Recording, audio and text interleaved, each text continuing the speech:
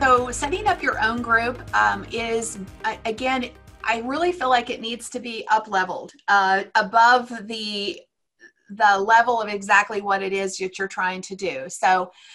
meaning it's bigger it needs to be a big idea or it needs to be a more holistic envision um, and i'm going to use an, an, outside example but it, it's a great one to paint the picture of how you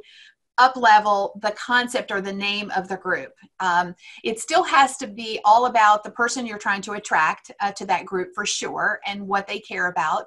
Um, but one of the uh, greatest examples I've seen of this thinking bigger or maybe thinking outside of the box a little bit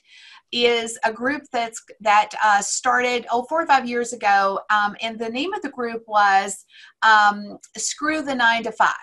And the premise behind it was just that you know uh, ditch your job you know stop working for the man and um, and we'll teach you how to do that essentially. But because of the messaging of the group they attracted exactly that demographic.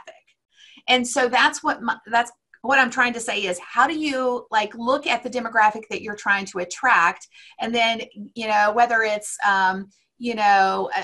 getting to an, the next level in your business or whether it is you know uh,